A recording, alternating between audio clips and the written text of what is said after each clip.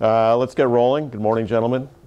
Name is uh, Alex Cumming from uh, KFT uh, Fire Trainers. Uh, we're based in uh, Montvale, New Jersey. And I'm actually a Canadian. We're, I've been working for them for, for about 30 years now, delivering fire trainers around the world. And this week is here in beautiful Everett. Um, say that over the years have delivered to um, a number of Navy uh, installations, uh, Australian Navy, um, Norwegian Navy, Canadian Navy, U.S. Navy, uh, Saudi Navy. So um, a lot of lot of time on those. It, uh, the intent today is to uh, go through how to set up, operate, and train with uh, your new uh, live uh, live fire trailer.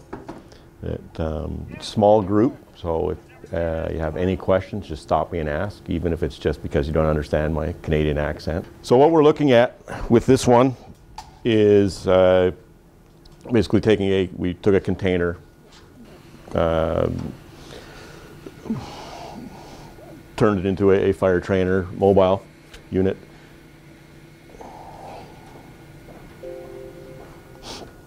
This is uh, down at uh, Kings Bay. So this is the, um, to give you the background on this, I'm sure everybody's aware of what happened with the Miami when it was in dry dock.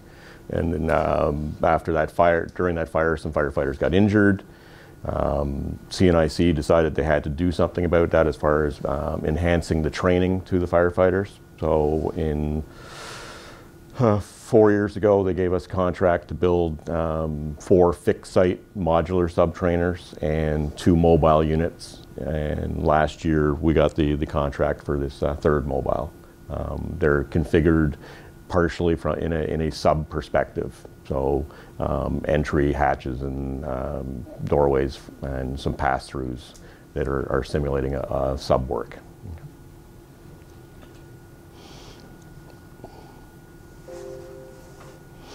So tra trailer itself, 53 feet long, 8 feet wide, 13 foot 3 high, um, weighing about 44,000 pounds. And because it's a shipping container, it, it's made out of Cor-Ten steel, which is a, um, basically a, an ablative steel. It uh, re resists rusts a lot, a lot better than just a standard steel. Okay, so the mobile fire trainer is a manually operated vapor propane fueled live fire training system mounted on a trailer that can be towed to a selected site and be quickly set up to provide safe and efficient fire training exercises for the types of fires normally associated with shipboard or submarine firefighting. Um, so when we, we start talking about propane, we'll, we'll differentiate why we're talking about vapor versus liquid. Um,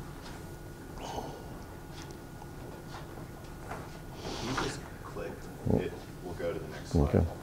Am, am I freaking you with that? Yeah. Um, training fire, any area of the MOLIF that is used to con conduct live fire training?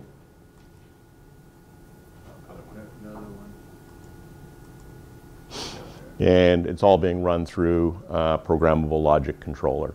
Um, basically, it's a, a PLC is a dumb computer. You send a signal in, i.e., turning a switch. The PLC program tells something to turn on or turn off. That's all a PLC is doing. It, um, in the old days, it would have been done with relays. You send a signal into a relay, makes a contact, goes out and tells it to do something. In this case, with the PLC, if you turn on a pilot switch, it's going to open a couple of valves, turn on an ignition transformer, and create a pilot. So that's what the PLC is doing. Um, we're not looking for you to do any programming that if there's ever an issue with the, the uh, trainer, we may ask somebody who's um, technically um, adventurous to take a look at some lights for us while we're talking over the phone to do some tr troubleshooting. So,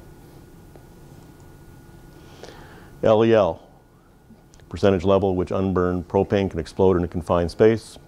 We have sensors inside that will detect this level and shut down the mole lift at 25% of the LEL. Yeah.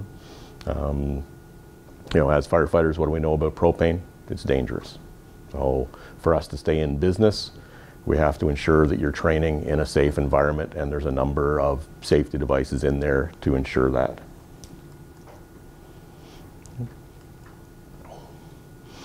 So three different views of the of the uh, the unit itself. Just going to go through this quickly because we'll be looking at it shortly outside.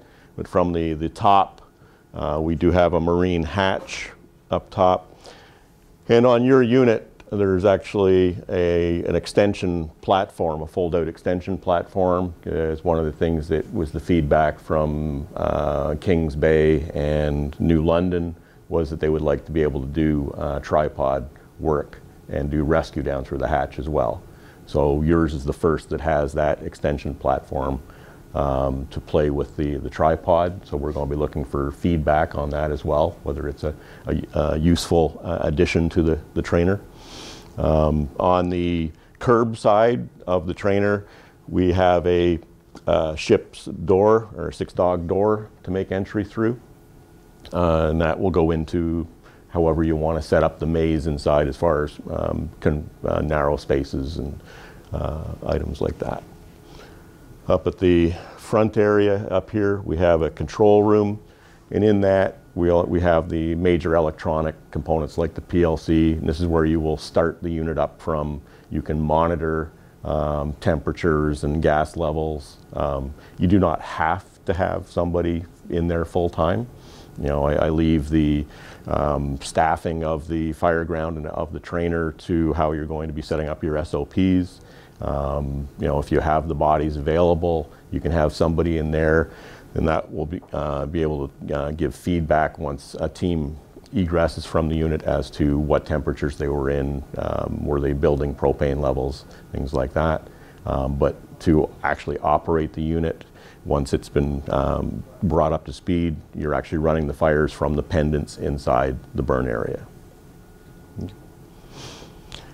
So curbside view down at the back, we have a generator that's running off of uh, the uh, propane supply for the unit. Uh, the um, six dog door going into, leading into the burn room, uh, door into the control room.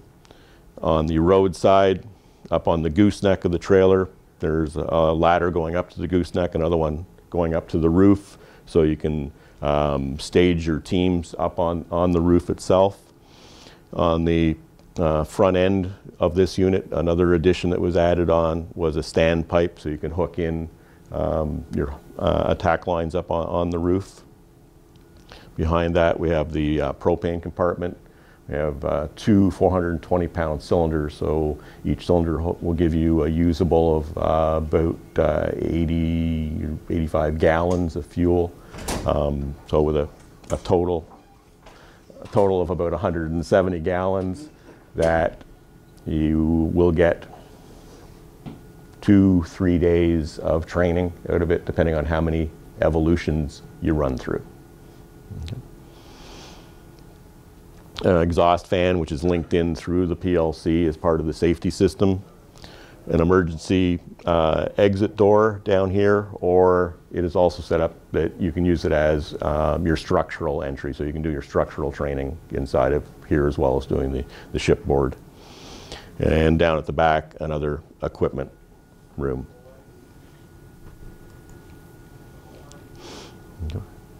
So top view, looking into the interior, uh, down at the back end, generator, equipment room.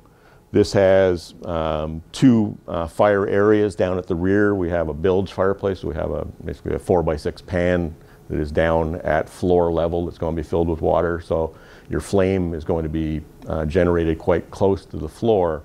And what this is going to uh, bring to you is that um, you're going to get the radiant heat from the fire soaking into your gear more just because the fire is that much lower or closer to the, to the floor of the unit. Okay?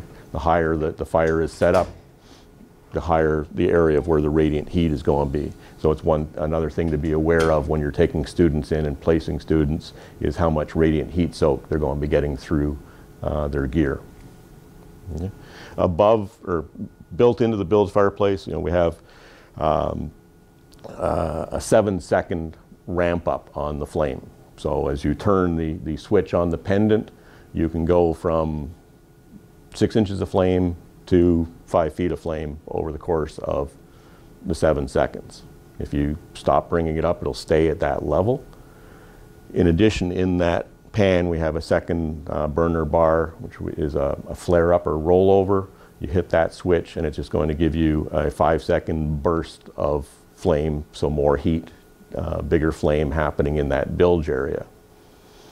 Mounted up near the ceiling is the flashover. And if you've been in the MAFDs or the other units, so it's shooting uh, a flame across the ceiling um, in that area. Any questions so far? That's all clear as mud. That's what we like. So, oh, actually, I do have Yep. one. You said that it's controlled, um, where's the control? uh, Okay? So, on- In, on this diagram? Oh, so we're we're going, we'll get into this a little bit, a little bit more depth, but you have, you're going to be operating the fires from inside, either using the wired pendant or the wireless. Um, The wired gives you a lot more information just because of the, the lights are giving you feedback on what is happening uh, with the pilot and the flame and all of that. Um, the wireless gives you a little bit of extra mobility. You know, what I've found uh, in teaching in these units is that as the instructor, if I'm running the pendant, I'm going to find a location in there where I'm protected from the flame. I'll set the interior barriers up so that I'm hidden behind a barrier, so I'm not taking the heat soak. If you're going to be in there time after time after time, you've got to protect yourself. So I will locate myself somewhere in there with the pendant and let the um, second instructor send the, the group in or lead the group in. But if I'm operating the pendant, I'm going to be in place and have a good visual on what the students are doing and what the fire is doing.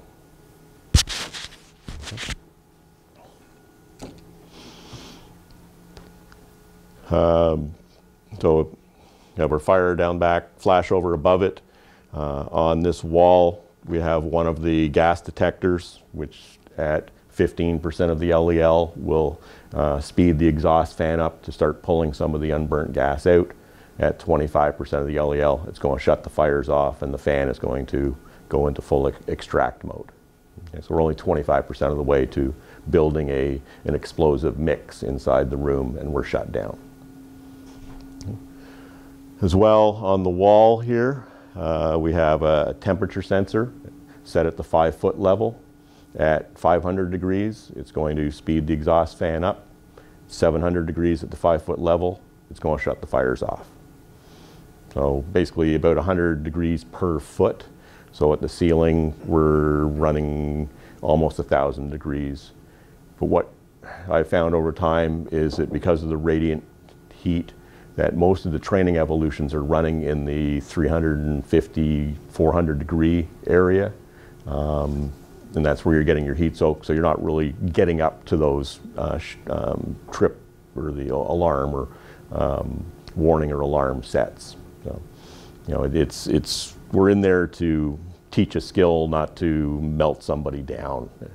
So, at least that's my personal view on it. Okay. Um, an, an emergency stop located by the uh, exit door. You hit the emergency stop, fire's gone, smoke is shut off, exhaust fan is in full extract. Okay. You would reset by pulling it out. There's a 30 second um, run on of the, the fan, and then we can bring the fires back up. There's a maze system through here, which is comprised of movable panels. So you can reconfigure how the maze goes, either from narrow corridors to um, small equipment spaces for people to get lost in. Um, or you know you can use part of that maze to protect yourself as the instructor too, um, not only from the heat but from the hulking firefighters walking by with equipment banging you. So I like to hide myself and protect myself in, in the maze somehow.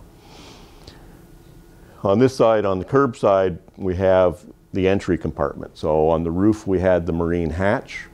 There's a ship's ladder going down from that hatch into a, a compartment space, which then has a, a six dog door, which leads into the fire area.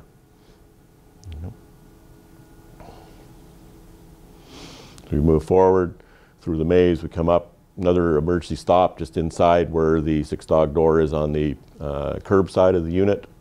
We have another gas detector, another temperature sensor, and up at the front end, we have a switchboard uh, fireplace. So not a huge fire, not a hot fire because it's contained within inside the, the switchboard, but more from a uh, recognition of the fire, um, good for um, doing TIC work, um, and you know, okay, so you're taking somebody in. What are they going to attack it, or are they going to look for a way to isolate? And I'm not sure what your procedures are. I know on some of the uh, units they would bring a, a, a shore crew in to isolate power before they did anything. So again, how how would you handle that, and how would you set up your scenario? If you had a ship or a switchboard fire on, on board. Ship's crew's gonna be isolating them before you get there. So, you know, if you're if you're running people through what you know, what are you going to be looking? You're going to be looking for them to tell you that power has been secured before they attack the fire. Up in the front area, uh, on the roadside, we have our, our propane tanks. On the curb side, we have our control room. In the um, side view of this, in the rear, we have our bilge fireplace, our exhaust fan. We've now relocated the smoke generator up to the switchboard to make it a little bit more of a, a realistic uh, scenario.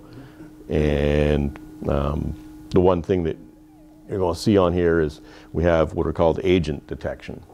So as part of the, the PLC program in this, um, we have uh, water sensors and we have thermocouples that are going to react to the application of water. So you can set up uh, various parameters for it, so either, either from easy, medium to hard.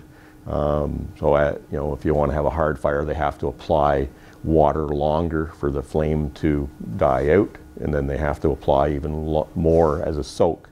If they don't do the soak, the flame will come back up. And the, the idea behind setting up these parameter programs is you can make up uh, consistent scenarios. So if you're doing um, a, a skills-based training where you want everybody to go through the exact same scenario, we can set up scenarios with parameters so when they go in and they fight the fire, everybody's fighting essentially the same fire and the fire is going to decay and go out the same way for everybody that goes through. So from a documentation of training, uh, you can, you know, scenario nine and you have it in your list and here's what it is, here's what's going to happen. Yes, firefighter Jones went through and he did this scenario with these parameters, tick the box. So there's uh, two agent uh, or water detectors down on the bilge and one up on, on the switchboard. And we'll take a look at those when we're, we're out there. Okay, So the uh, training fires on the interior. We have the uh, electrical panel up at the, the, the front end of the uh, burn area. We have the bilge fire. We have the rollover fire that's part of that bilge fire. And we have the flashover. Non-fire training. Um, we have a smoke machine, so you can just set this up and either do um, rescue training inside of it. Um, now that we have the uh, fold-out platform, and you can do tripod, so now you can do, you know, uh, victim packaging and recovery inside um, through the, the roof hatch, and we have the dog doors and, and the maze panel. So you don't even have to, to be lighting fires to have to set up some uh, good training scenarios in, inside of this. Propane system. Say that up at the front, we have two 420 pound cylinders. They feed into a uh, main gas manifold. Anytime you're doing training, both tanks are going to be fully open. We want to be drawing the maximum amount of vapor off of the two tanks at once. So we come off the tanks, we go up into our main header. Uh, the, you know, there's obviously there's a uh, tank valve um, uh, some other things on, that we'll take a look at when we're out there on top of the tanks. There's an isolation valve up here, which is primarily um, a service valve. You know, if we had to do some work or we wanted to isolate, we can shut that valve. Um, from there, it goes through a, a, strainer, which just takes out any um, particulates that might be in the in the, the gas. Um, very rare uh, for that to happen with new tanks. And then into a first stage regulator. As you'll see that on the, the manu uh, manifold, we have a, gauge up at this end, which is going to be giving us the pressure that's coming directly off the tank. We have a regulator, and then we'll have a gauge after that regulator. Because you're up here in the beautiful northwest where some days are cool and some days are warmer. So what's, what's going on, you know, what are, what's our pressure going to be in those tanks? Right? So we want to ensure a, a constant flame height. So we're going to be dialing in through the first stage regulator. And then when we look into the equipment rooms, we have a second stage regulator. And by NFPA, uh, we're bringing um, our gas into the uh, actual fires at around seven pounds pressure. So in the tank on a day like today, we're probably maybe 55 or 60 pounds. The first stage regulator is going to drop it down to 30, then we're going to drop it again in the equipment rooms before it goes in uh, to the fires. Hey, Alex, Yep. quick question for you, this is Chief I was trying to get a large, uh, maybe five thousand gallon propane tank at each location. Yep. these things would go to. Mhm. Can you bypass this and go directly from, say, a five thousand gallon tank? You certainly can. Right down here, we have a one inch plug. Take that plug out, hook in with a hose to there, leave the tank shut, and you can run. You know, 'cause, you know, and that, that's partially because like when uh, Chief White from CNIC was at um, our facility a couple of weeks ago, we always ship these thing, these tanks empty. So we have a service tank on the ground and we pipe in to that location and we run it from there for testing purposes. Yeah, so just depiction of what I just walked through in, there.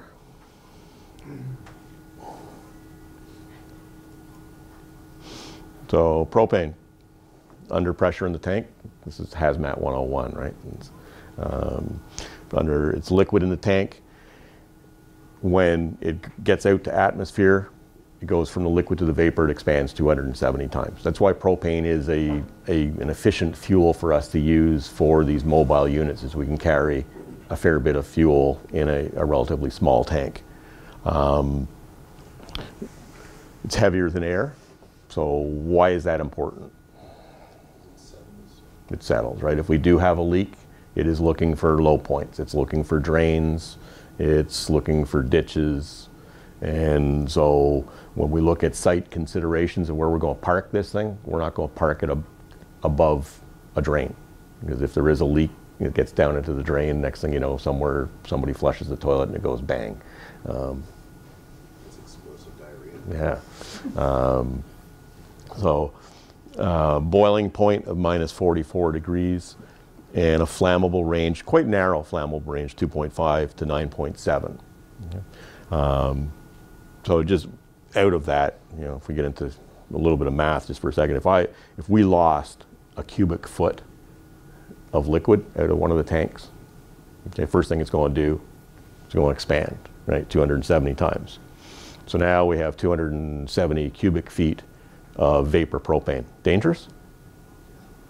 Yes and no, because it's 270 cubic feet of 100% propane. So you could put a match into it, into that 100%. Right? It's like, you ever do the thing with your brother in the match and the can of gas? You know, you can put a match out in a can of gas. It's the vapors that are the dangerous part. Same thing here. So we have 270 cubic feet of 100% propane. We now have to get it out into its flammable range. So we could go all the way down to the 2.5 or just above the 2.5. So we've now multiplied it another 40 times. So now we're 10,280 cubic feet of explosive area. So out of that one cubic feet. Yeah. So how would we know if there was a leak? Smell it? Right? Because it's got a it's got an additive in it called ethyl mercaptan, which makes it very noticeable uh, to breathe. It's under pressure, so we're going to hear it. Uh, it's minus 44, so when it escapes to atmosphere, you'll it'll create frost at where it's escaping. Okay? So you can use your senses to do it, you know, and if you have a gas meter that, you know, it's a very, you know, new way of going at it, but, you know, use your senses, that's gonna be the first thing. You know, normally it's like, I, I usually pick it up by smell first. But um, just to be aware of, if you think there is a leak, get a, a spray bottle with some soap or a gas meter and check around to find the leak and shut the tanks off and clear the area. You know, You know, especially with a mobile unit going over the road, things bounce around. So um, you want to always be aware that there may be a leak somewhere. Yep. So with that in mind, transporting it, do you want to unhook the propane cylinders from the built-ins? No, it- because we've got the um, shut-off valves right on the tank, that's where we're, that's where we're shut off, right, right, right inside the tank. How much propane is held in the, the, uh, system itself after it's shut off? Because we're talking about a. Leave that on. We, yeah, that at the end of a training day, right, we're going to shut the tanks and leave the generator running, and that's going to burn any gas out of the lines. And so when the gener, when the generator shuts off, your lines are, are clear of propane, so there's nothing after the tank valves. oh, and I understand, I was just wondering how much it held, like throughout that whole system, if it's like a gas. Minimal, Minimal. minimal. You know, it's, it's 50 feet of one in, 50 feet of one inch pipe. So I'm not, I'm not doing the math on that one, but, um, but very, you know, it, it, the generator takes a couple of minutes to burn the line out. You're good then. Any questions on that side of it? Okay. Okay, control system. That um, in the front equipment room where the PLC is located, there's a touch screen uh, which you need the code to um, log in to use the system. And the code is Live Fire Training System, so LFTS. So uh, five, three, eight, seven. You know, um, depending on how often you use the unit. Um, I'm going to give you each a copy of the manual for your own use. You may want to write the password inside the manual so you have it. Um, if you're not using it a lot, it uh, may be something that slips.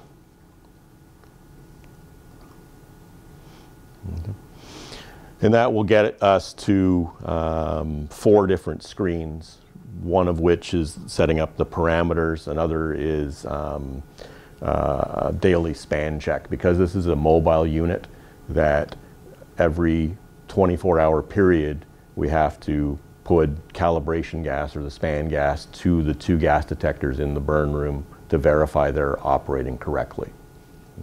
It's um, a span, the span screen will come up. You put the gas to the uh, gas head, it'll go up to 45% LEL. That head is good. Put gas on the second head, comes up to 45%. That head is good. Your span check is done for the day. Then from there, you can go to what we call a da- daily operational readiness test screen, and you push a start button, and that's just going to start the three the three pilots, the one for the electrical panel, the one for the bilge, and the one for the flashover, and make sure the pilots are functioning correctly. Once that is cleared, you're into either the fire training screen or the parameters. And with the parameters, as I talked a little bit before, we have extinguish time, soak time.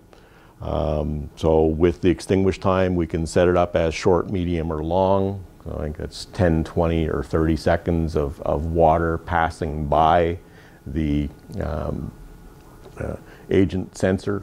And all the agent sensor is, is a, and we'll take a look at one when we're out there, it's just a, a little light that picks up the water flowing by it. Um, and we, depending on how tough an instructor you want to be, if the light is at the bottom, then it picks up the water as soon as it flows.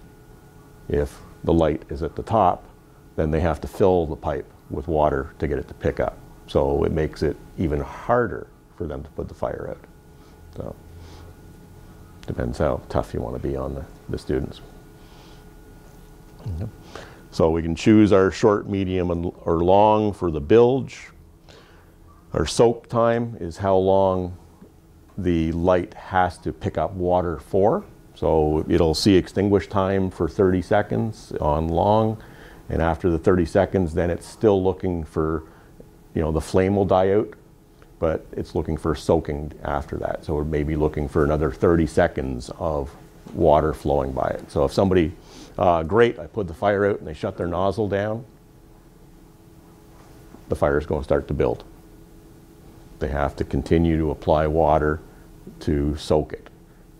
If they don't soak it, it'll come back up. If they do their 10, 20, or 30, depending on what you've chosen for, um, or, well, no, no soak time would mean that, okay, that they've extinguished it, good, the flame's gone. Short at um, 20 seconds, they have to keep applying water for 20 seconds to uh, keep the flame from rekindling, and 30 seconds at long to keep it from rekindling.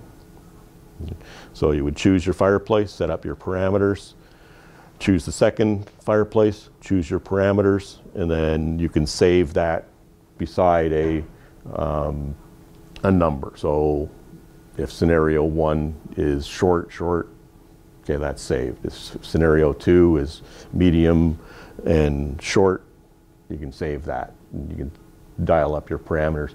So it may be something that wants to be worked at from uh, Chief Snyder's or Chief White's thing to set up some um, scenarios or some parameters and have them on a, a cheat sheet in there saying, okay, we're choosing number one, because you can come back and choose that number one at, at some other time.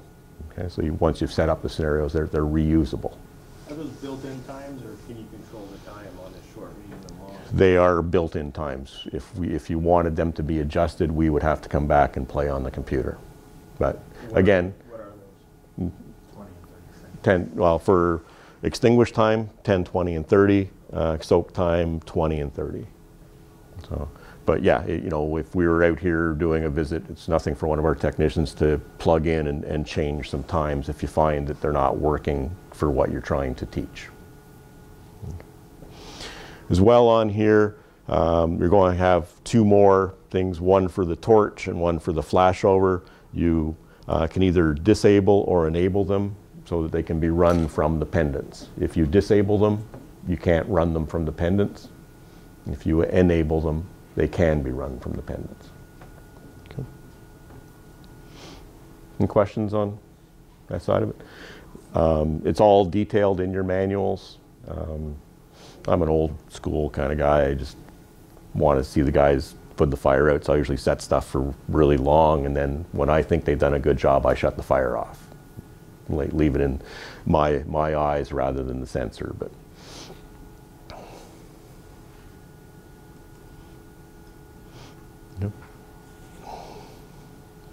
There's your extinguish time, short, medium, or long.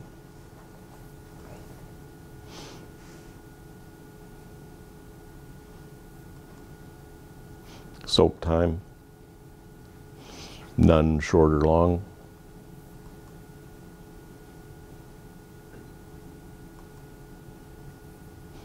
Torch effect is just, um, we're throwing more gas into the bilge area and creating a bigger flame. And that's how you gain your rollover effect. Yeah, that's for the rollover. So the rollover starting from the, the base of the bilge fire and going up. The flashover is coming across the ceiling. And in order for that effect to happen, it has to be held like a dead man, Yeah. or? Yeah, there, well, You just press the button and it does it? that on the pendant, when we get into that, is that, you know, we have a, what's called a pause or a dead man button on here. For, so for them, for there to be fire, that has to be held. Okay, then we would bring the fire up. That's our main fire. And so if it's the bilge, we're going to be pushing and holding that for seven seconds to get to main. Then we can release it. It's up at the highest it it is. We still have to keep holding on the dead man. And then if we want to go for uh, rollover, we have to twist it over and hold it for the maximum of, I think it's five seconds. Flash over the other way for maximum of five seconds. And if you held it for longer, it would just shut the button off. Yeah, the, the- flame, the flame will stop. Oh. Mm-hmm. Okay. If you release the dead man, you go back on the dead man, you can do another, the, the main flame will come back up to where you had it. And then you can do another rollover, you can do another flashover.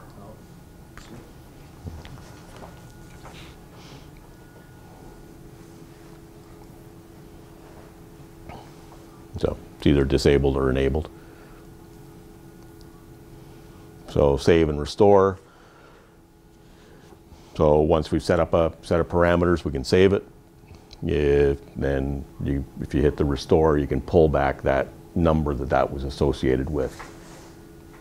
And then bring those parameters back into the, into the game. So in the manual, when you're reading through it, so basically when we look at the manuals, there's the official hardbound. This will give you many nights of good bedtime reading. And then there's your personal copy so you can make make notes in, in these and be it'll be your reference uh, for when you go to, to use this. Um, I don't know how often you're going to be teaching with it. You know, are you're going to be using it once a week, once a month, once a quarter? Um, so my suggestion on this is always that um, because you got a lot going on in your mind with all the rest of your job is anytime you're going out to set this thing up and operate it, there be at least two instructors. So if somebody forgets something, the other guy can pick up on it, but also be using the, the manual as your, your backup for that. You know, you know why there's four firefighters on an engine?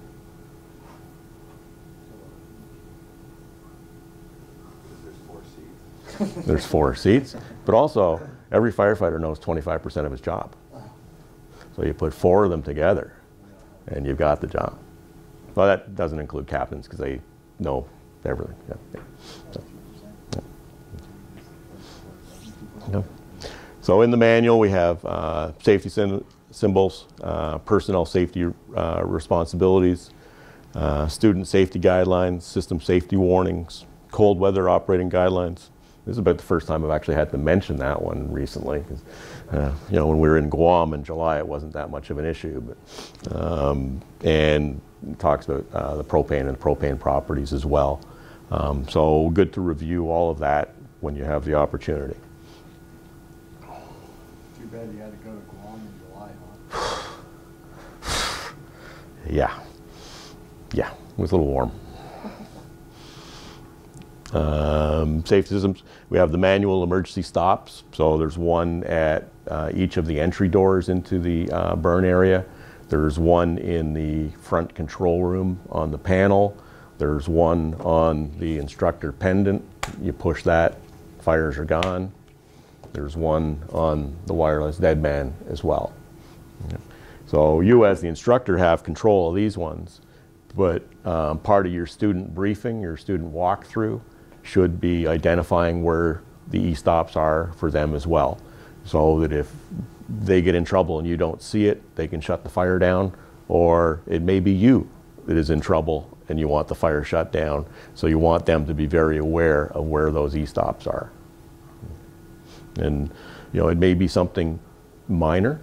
You know, somebody didn't gear themselves up as well as they should have, and they've got a little bit of an opening and they're getting, taking some heat from around their mask and you're not seeing it.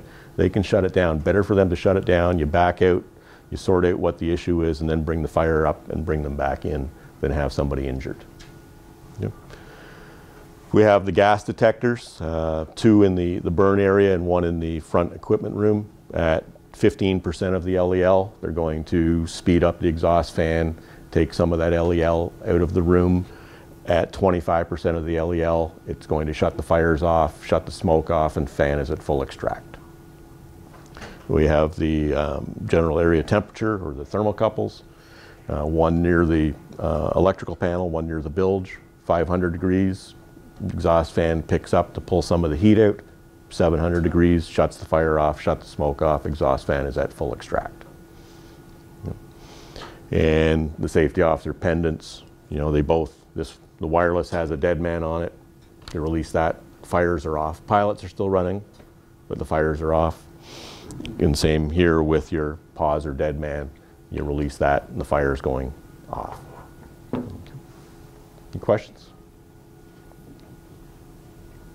Uh, You guys really do want to be done by 2 o'clock. Okay. So the e-stop locations, one by the uh, rear emergency door, one by the six-dog door up at the uh, curbside, and one in the control room, as well as the one on the the pendant. Okay. And they are just inside the burn room. You hit that, push it in. That's what breaks the e-stop chain and shuts things down. To reset it, you have to pull it out straight. There will be a 30 second run on of the exhaust fan, and then you have to go back into the control room and go back into the fire training screen on the um, touchscreen.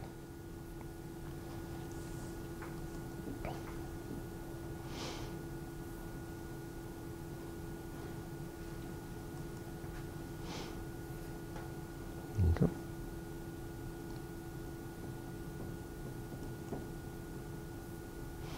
The gas detectors.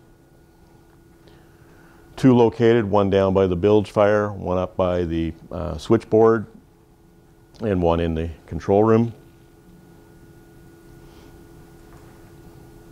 So on the touchscreen, green is normal, less than 15%. Amber is a warning, 15 to 25, and red is a shutdown at 25 or above.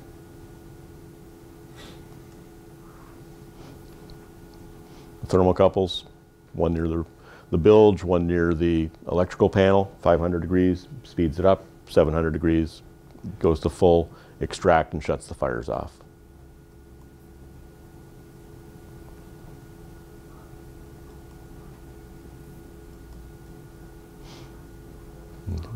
So the actual operation, once we're, we've gone through our screens and we've set up our parameters, from there, we're going to be running off of either the wired or the wireless pendant. That in the control, control room when we get there, um, there's a uh, transmitter box on the wall that has a plug-in. There's only one place to plug in, so we can either have the wired plugged in or we can have the transmitter for the wireless plugged in. Okay. And um, I was saying before that you get a lot more feedback using the wired, uh, just because of the lights on the wireless. There is a you get some feedback through the screen to tell you what's happening, but it's you're in a dark environment and it's you know you find it easier to use the wired. Okay. You're not um, the wireless worked well on the, the modular because it was a three level um, situation, three, three deck ladder, a lot, of move, a lot more moving around than you will be doing inside of this unit. So set, find yourself a good, comfortable, safe location to, to run from and get your, your pendant put in place into that location and you'll be good to go.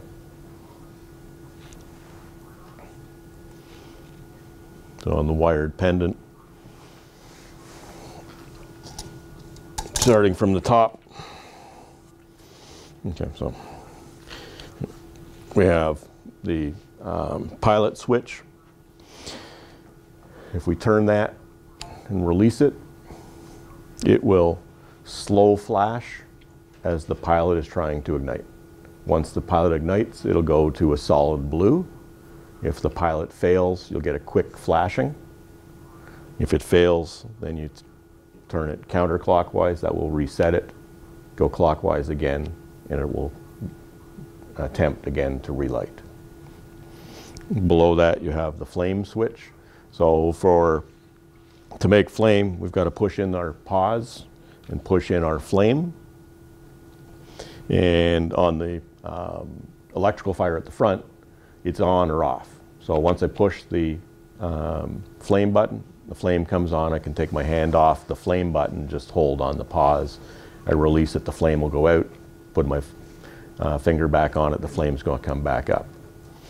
For the rear or the bilge fire, I'm on the dead man. I go on to the flame button and I have to hold it for the seven seconds for the motor valve to open all the way.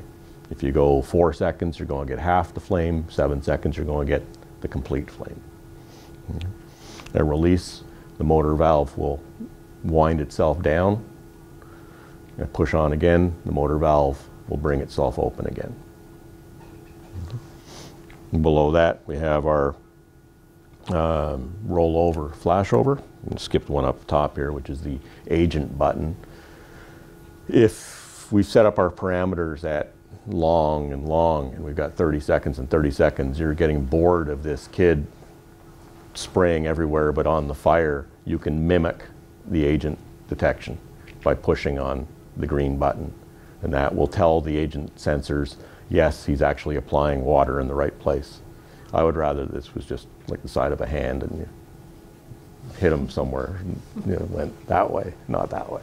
Um, so, um, below that we have our smoke. The uh, smoke machine we're using is um, uses a, a vegetable oil based product.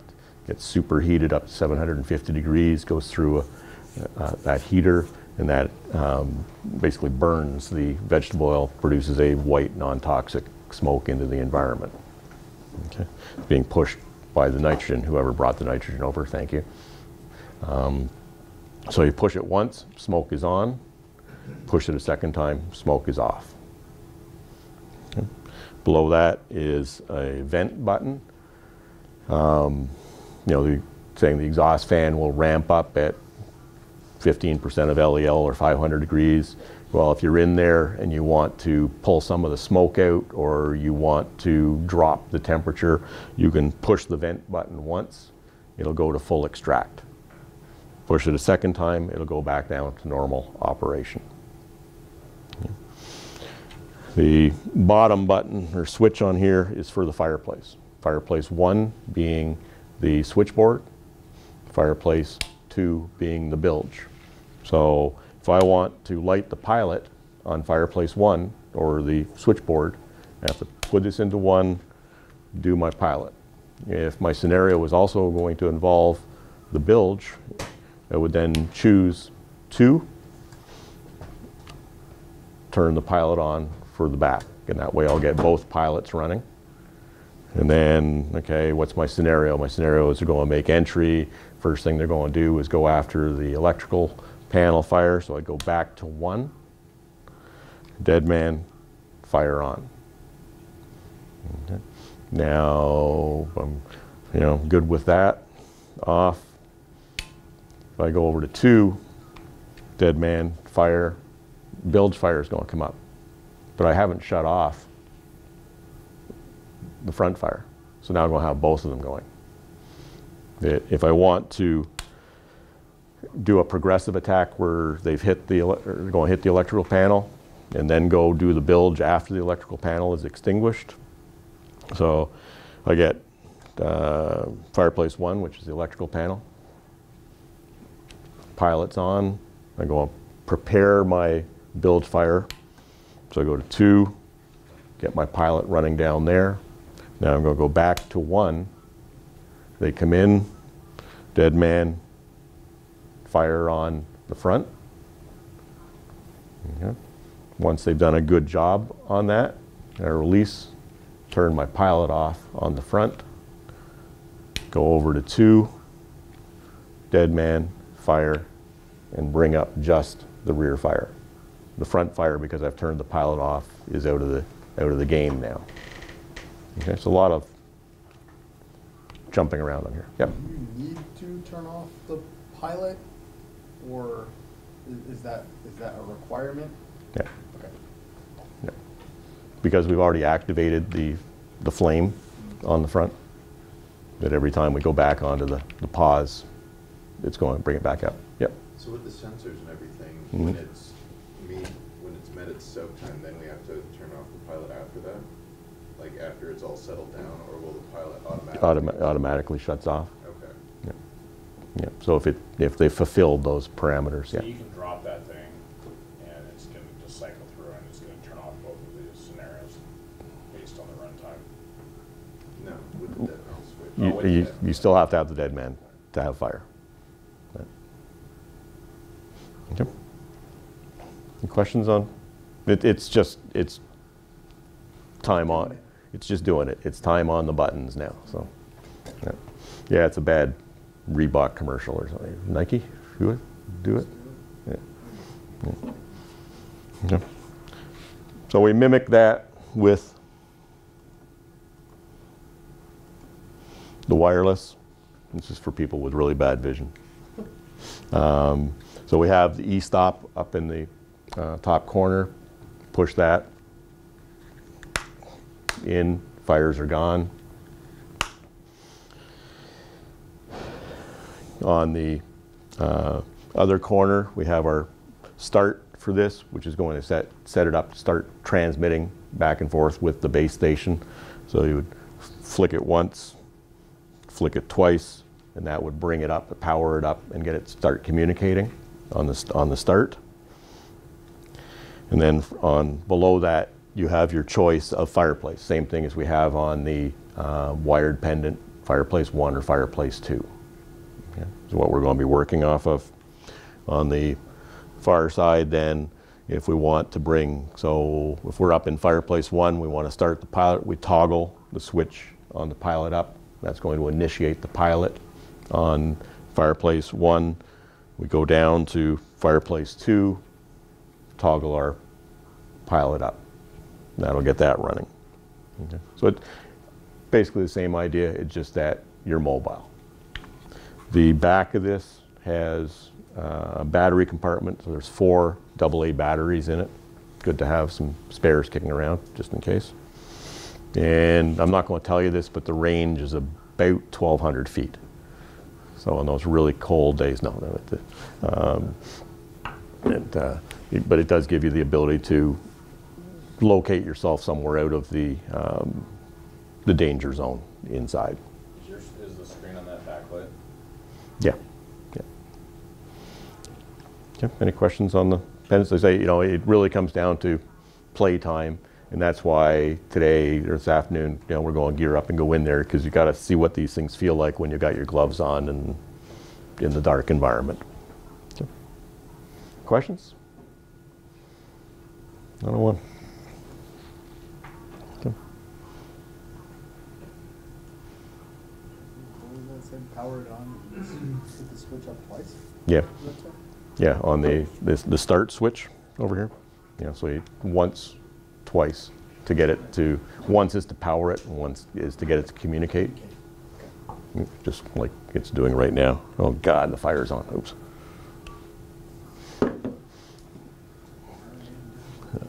Um, so site considerations, um, that what we're looking for is level ground, uh, preferably something that's paved, that been there, done that years and years ago down in San Francisco area. We had a power plant where we pulled one of these things in on a newly graveled parking lot.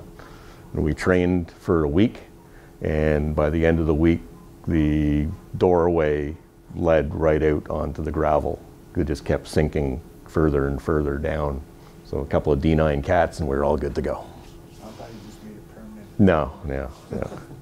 Um, no drains uh, underneath or in close proximity to the unit, so that any, uh, even the, the propane in the attack water, we want it to filter off a little bit before it goes uh, down a drain.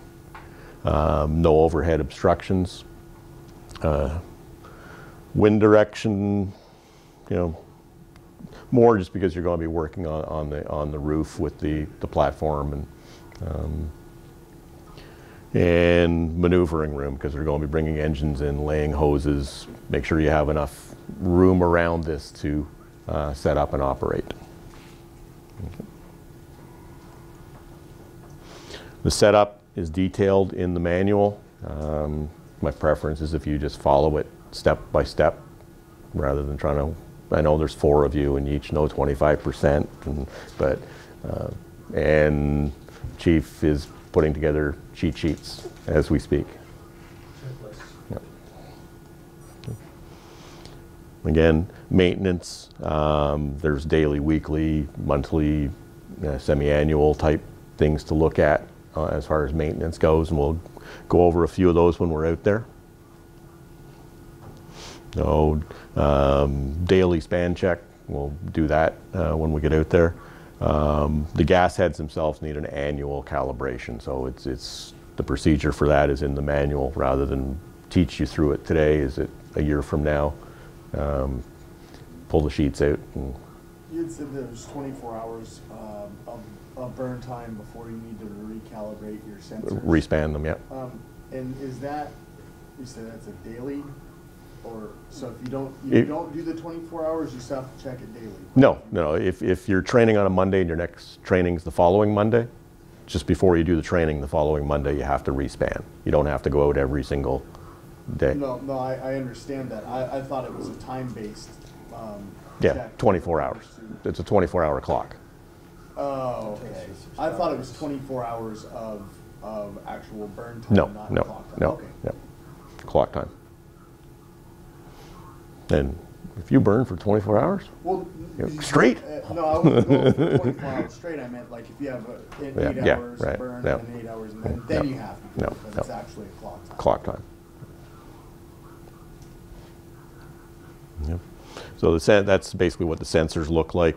There's um, an indicator light on them, uh, and then you take the little cover off. You put your um, Tygon tubing onto it, open the the gas bottle, and you'll get your reading on the touchscreen in the control room. So essentially every single time we go to use it. Okay. How long does one of those cylinders last us? Not long enough. That's what it feels like. Well, see, I, Hmm. Depends on how often you. Yeah, how often you how often you train. Um, if you're training every day, you're probably getting six weeks or so out of a bottle. okay. Figures.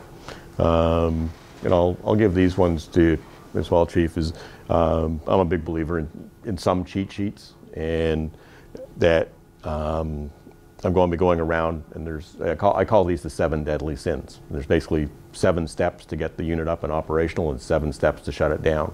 So I'm going to go put numbers on at the locations of the seven. So when you go out there with the seven deadly sin list, you go, okay, where's number one? Okay, it's the propane tanks. Let's turn the propane tanks. Two, so let's start the generator. Three, in the control room. Where's the, the disconnect? And so there will be a number on each of those locations that you have to do to start it up. So it's a, a memory aid in conjunction with um, whatever SOP sheets are, are put together. So there's the, um, so I've got the, the login uh, to the screen on there as well. And then the reverse for the, the shutdown.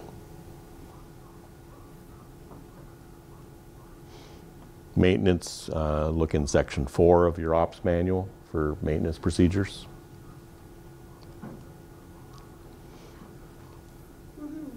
Let's go make some fire.